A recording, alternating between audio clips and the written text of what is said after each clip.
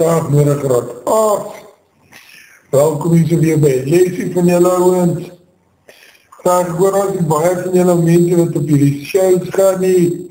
Kom mense, kom ons kom by hierdie lesse uit, kost nog een bykie werk man. Kry julle mooi allemaal vir julle nie, wat vriende het, dinne, weet hulle is nie, hulle wil nie hierdie werk doen, die kom skry dat hulle hierdie werk doen, so dat die kan kry nie, hulle het die op die internet nie, neem hulle foto's stuur het vir hulle. Vraag ouwens, ek hele was bezig met die ontdekking van goud, en ons het bykie gekyk in die ontdekking van goud, eerste goud wat goud het gekrys, koop die grond, dat het een laag waarde gehad, en toe kom hulle hier na die witwatersrand toe, hulle ontdek die goud diep onder die grond, raak, toe begin hulle sikkel om het uit te kry, en dit is waar die randheren ingekom het, waar hulle lekker baie geld kom maak het, en al die ander manne hier op die witwatersrand, as gevolg van diepte mijnbouw. Raak, diepte mijnbouw groot geld vir baie mense geskep.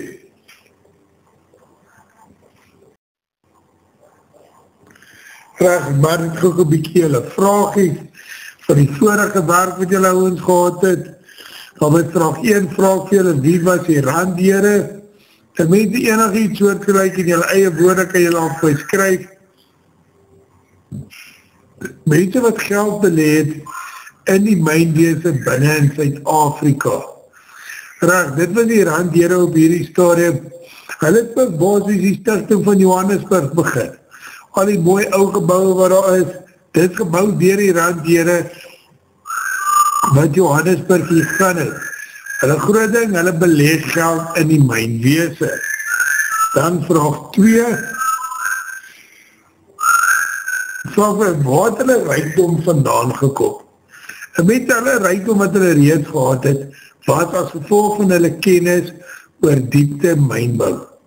Vraag, nou moet ek julle ons terugdink, nee. In Engeland in die tijd, mense met die industriële revolutie, toe begin hulle staal ontdek.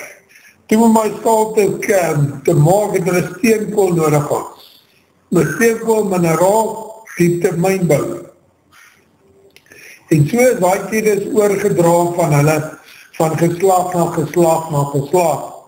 Nou krijg ons diepte mijnbouw binnen in Zuid-Afrika. Nou het die mense die kennis om dit vir ons te bring. Vraag, vraag aan hulle, dan by vraag 3, vraag vir jou, Die mijnbouw is gestaak tussen 1899 en 1902. Hoekom? Vraag, jy was een oorlog binnen in Zuid-Afrika en het was die Anglo-Boere oorlog. Vijf vraag, vier vraag vir julle ouwens. Na die oorlog verlaag die mijnbase um, iets om hulle winte te verhoog wat het hulle verlaag, mense, hulle die werkers so loone begin verlaag. Vraag, jy verdien elke keer, jy, jy sê maar, vir 100 rand te week verdien, nou verdien jy 60 rand, van die mijnbase wil meer geld kry. Dan by vraag 5, vraag vir jou, wat een nieuwe nasie voer die mijnbase in om te kom werk op die mijne, en dit was die Chinese geweest, Dan my vraag sê, sê ek vir jou, daar begin een staken. Dan vraag vir jou, jy sê, hoeveel werkers, hoeveel mijnwerkers staak? En dit was 25.000. Skees. Dan vraag vir jou, hoeveel van hulle word doodgeskiet? Dit is 153 van hulle word doodgeskiet. En hoeveel van hulle word gearresteerd? Dit is 5000 van hulle wat tronk toe gaat draag nie, en nou rustig, as jy ander woord het, maar het maak jy self, dit is een draag, maak het vir jyself draag, kom ons maak dit bykie hier so.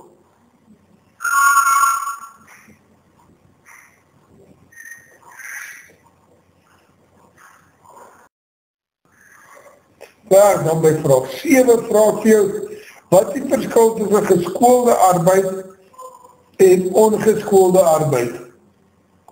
Nou die eerste groot verskil, geskoelde arbeid het hoër loone gekry ongeskoelde arbeid kry laag loone. Jou geskoelde arbeid was gewoonlik die wit mijnwerkers en jou ongeskoelde arbeid was jou swart mijnwerkers. Raad, dit is hoe hulle maar geklassificeer was. Kijk, mense, nou is klaar met mijnbouw in Zuid-Afrika en nou gaan ek in julle oor na een nieuwe hoofdstuk toe. So raak, trek my lijn daar, skryf vandag sy datum en jou nieuwe opskrifie is soos volg. Raak, gaan bykie kyk na kolonisatie en hoe kolonisatie in die wereld plaasgevind het.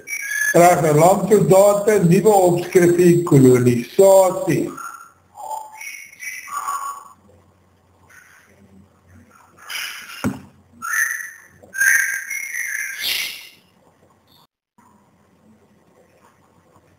Raak, nou maak ek die ek daad op my een inleiding.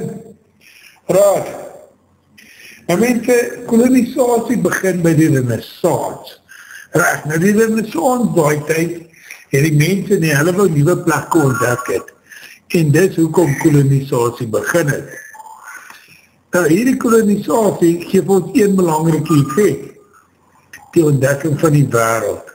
Raak, in die begin het allemaal gegloed waarom is hier kantig, as jy daar waar die horizon van afval gaan die afval. So vir die mense was dit een groot uitdaging. En dan Portugal en Spanje was die eerste twee lande wat baie groot begin het met ontdekkingsreise. En daarna het Nederland ook gevolg. Ja, dit is so vinnig. Nou kan ek en jy skryf, die eerste sterrekie, Een van die gevolge van die renaissance was die strewe van die mens om te ontdek. Ja, een mens wil die hele tijd iets niets ontdek, hy wil nie die selfde gehad het nie. En wat begin die mens ontdek? Een belangrike gevolg, dus nou een tweede sterretje as kies, hiervan, was die ontdekking van die wereld. Raad, dan is daar een sterretje, vooral Portugal en Spanje het baie ontdekkingsreise onderneem. Daarna het Nederland ook begin met ontdekkingsreise. Graag, in die meeste van hulle het maar uit Europa na Indiese kant toe gevaar. Dis waar die groot gedeeltes plaas gevind het ontdekkingsreise klaar, dan kan julle rustig afskryf.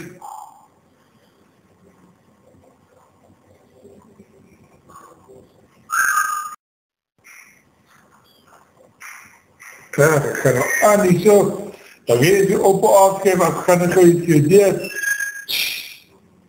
Ja, nou volgende tydperk waar Engeland en Frankrijk die meeste kolonisering gedoen het. Raad, Dan nou, het begin Spanje en Portugal. Toen kreeg bykie Nederland, dan kreeg Engeland en Frankrijk wat groot is met die ontdekkingsreise. Daarna begin het gaan oor maag. Terug, hoeveel lande kan ek besit? En daar, in hierdie stadium, het Engeland baie groot gegaan. En na die tweede wereldoorlog, Dit is een tydperk waar die kolonie van die kolonisatie en vrymaking van blanke beheer. Raag, in baie lande, en vooral in Afrika, oor Afrika's minerale, waaronder Engeland, Frankrijk, Portugal, Spanje, Liewekop, sy beheer. Raag, en dit wordt dus bedoel iets so met die vrymaking van blanke beheer. Ja, ouwens, kom ons krijg gauw hier so.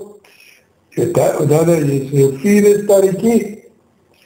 Toen volg die tydperk waar Engeland en Frankrijk oorheersend geword het met die kolonisering van lande.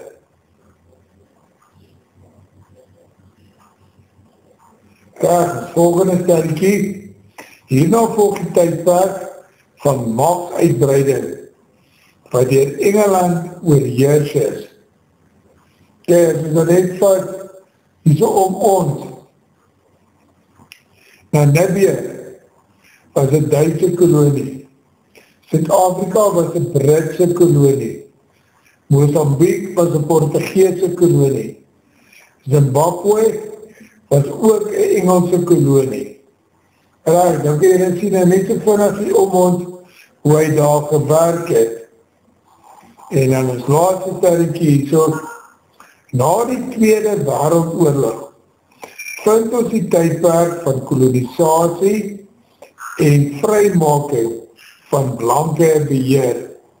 Daar weet jy nou sê, dit was vooral in die Afrika lande, waar hulle nou gegaan het, en hulle losgemaak het van die Europese lande af.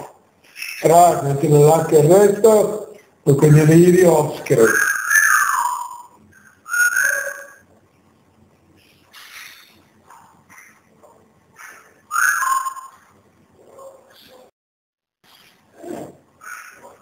daar mense dat ek julle lees stikkie so, en dan net ek julle sien, op boven van die ontdekkingsreise, julle lees rustig die deur, allemaal moet op deur lees, asjeblief, want julle gaan vraagjes die na kry. Kijk, dan is die term kolonisatie, dan die redes vir kolonisatie, praat die van ekonomische redes, en politieke redes. Mense, by jou ekonomische redes, het het wat dood eenvoudig gegaan, kom ons skep een vervaardingspost. Nou by jou vervaardingspost, ander skepe kom daar om, hulle wil nieuwe water hee, hulle wil nieuwe koos hee, ons verkoop dit aan hulle. Voor jou politieke redes, mense, het het gegaan oor jou maagsuitbreiding. Daar, ek Engeland besit soveel ander lande wat hy daar deurgaan. Wil jy nou weet rustig die deur en dan kan jy hier gaan wat jy daar deurgaan. Ek kan na boven die ontdekkingsreise sien dat ek hier die verskillende ouwens wat wat ontdek is daar so. So daar by die tweede stelletje gaan kyk, ek sê daar In 1492 ontdek Christopher Columbus die West-Indiese eilande en ook later die kust van Centraal-Amerika. En met die Christopher Columbus, hy was eindelijk op soek na India. En toe hy die West-Indiese eilande ontdek, ek denk hy is net West van India. En dit waar hulle name vandaan kom. Ja, Jy het nou hier kaart deurgelees. Hy sê ek vir daar is basis drie maniere van kolonisatie. Ek jylle volksplanting, en mense volksplanting is dood jy van Engeland vat hulle mense en hulle kom set hulle neer binnen die land wat hulle gekoloniseer het. Daar, Engeland het uit Afrika gekoloniseer, Nou bring hulle die Engelse mense na Zuid-Afrika toe. Dan mense sê ek vir algehele onderwerping, as jy by algehele onderwerping ingaan, wat in die land wat jy koloniseer, is al reeds mense. En die mense gemaak die oorlog teen, die jaag hulle weg, die sit hulle in die tronk, so jy vat die hele gebied vir jou. En dan bestuursredings, Jy van die gebied, jy los die inheemse bevolking daar. Jy gee nie vuile reels oor hoe dit gaan werk daar so. Vraag jy, lees dit hierdie ook net deur, dat jy ook nie hierdie te print nie, ook hier af te skryf die ek gee dit vir jy wat jy weet sien.